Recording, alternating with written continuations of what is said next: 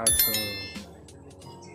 yeah, a lot of, you know um, how rough Naruto life is. Like watching Naruto, it's it's relatable. Like it's totally relatable. I am one who can relate to it because of the um, of the level of um, where it grows, um, going without a mother or father. Um, no, and he always was inspired by the fourth Hokage, and he didn't know the fourth Hokage was actually his his father, you know. And uh, that's something with me can relate to because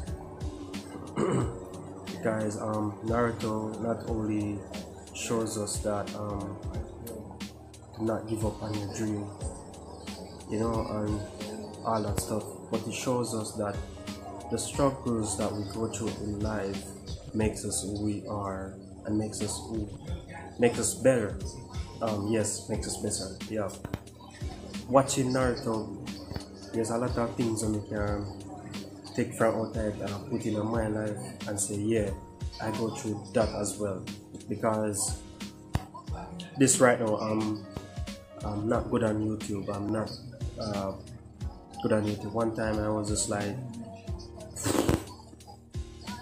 like um, YouTube wasn't mine, and at certain times I just feel like I, I couldn't do this, but by pushing pushing, pushing, I get better, and that is what Naruto did when he actually his worst jutsu was um Shadow clone Jutsu, Shadow Clone, and yes, he mastered and make uh toes of Shadow Clones. Yeah, our worst thing can be our best thing, you know, our worst worst thing can be our best.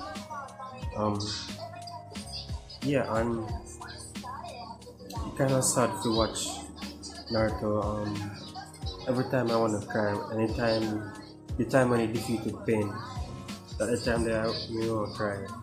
Yeah, you didn't want to cry. Um, that did um touch touch me right here. So you know, anytime when he defeated Gaara, because at the time when Gaara um was resent Naruto and say I didn't care less like Naruto was.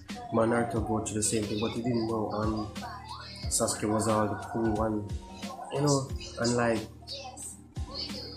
Gaara resented Naruto and started to fight like Naruto was like on one side.